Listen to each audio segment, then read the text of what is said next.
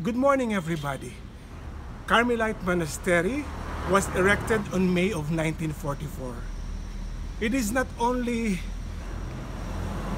a place for worship, it is also very relevant in our history because on this monastery were the woman who made us appreciate more our democracy, the former president Corazon Aquino hid and was protected by the pink nuns during the EDSA Revolution.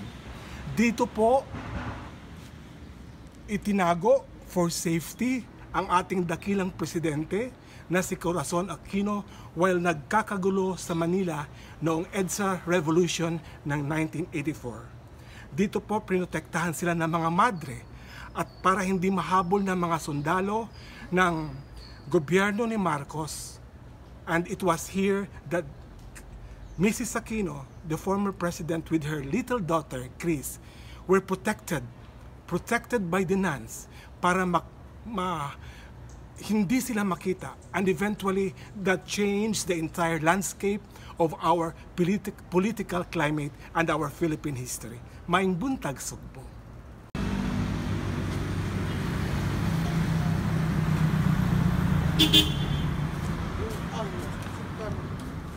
Thank you, Dong.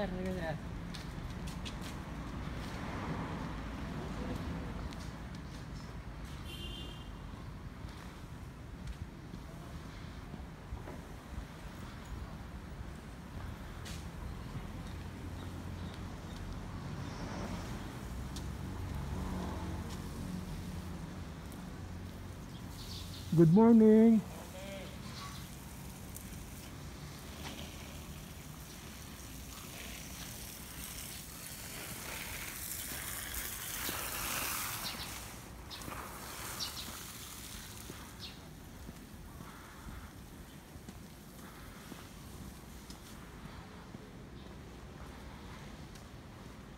It was on this monastery itinago ang ating presidente na si Cory Aquino noong kasagsagan ng EDSA Revolution in 1984. Dito po, bawal ho.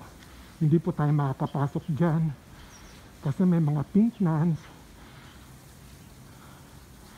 na nag rosary by this time.